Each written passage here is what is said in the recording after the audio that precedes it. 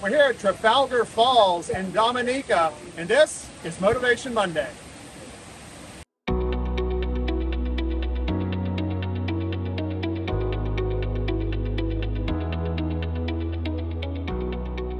This really is an amazing place on the island. The father or daddy falls is about 300 feet, and mother or mommy is about 130 feet in length and drop.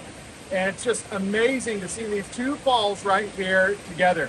And of course, it's always amazing here on the nature island to see what God created. In Psalm 47, David is writing about, as the deer thirsts for the water, so my soul longs for you. Lots of people know that verse. There's hymns and songs written about that verse.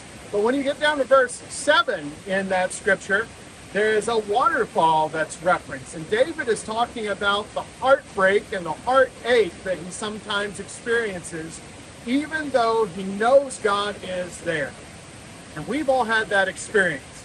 So we're reminded, just as David was, by the waterfalls, that there is constant flowing living water when we're in the Word, when we're praying, when we're worshiping, when we're around the church.